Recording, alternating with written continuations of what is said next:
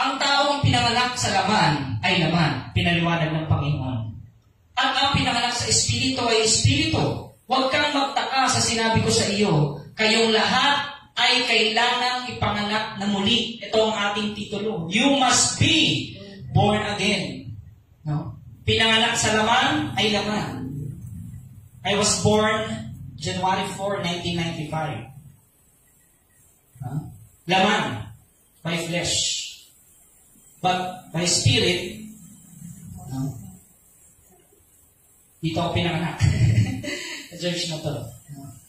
Dito ko nakilala ang Panginoong Jesus. Ginamit si Pastor no? upang ibahagi ang uh, magandang balita, ang gospel patungkol sa ating Panginoon.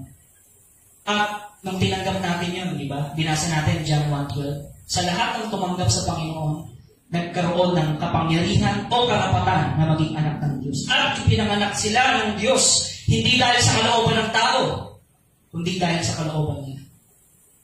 You must be born again. No? Ano ibig sabihin ng spiritual rebirth? Naunawaan natin yung sinasabi ng Panginoon. Sa tingin ko, si Nicodemo ng mga panahon ito, hindi pa rin yan naunawaan. No? Kasi, alam ang, kapag ginamit mo ang talino galing sa sanlibutan, hindi mo talaga mauunawaan ang salita ng Diyos. Maliban, you humble yourself like Apostle Peter. And the Father will reveal the truth to you. No? At ikaw ay ipanganganak muli. Kaya sabi, this is spiritual rebirth, born from above. Ikaw ay pinanganak mula sa langit.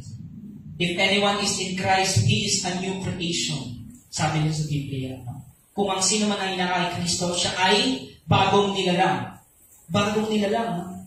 Kahit nag-exist ka na, sa laman, pinanganak ka na, pero patay ka pa rin sa espiritu, no? ibig sabihin nun, hindi ka pa rin talaga tunay na konektado sa Panginoon. Kaya nga nais ng Panginoon, lahat kailangan ipanganak muli. Ayaw ng Panginoon na may maiwan. Gusto ng Panginoon lahat, ayun, kayong lahat ay kailangan ipanganak muli. Ganoon tayo kamahal ng Diyos.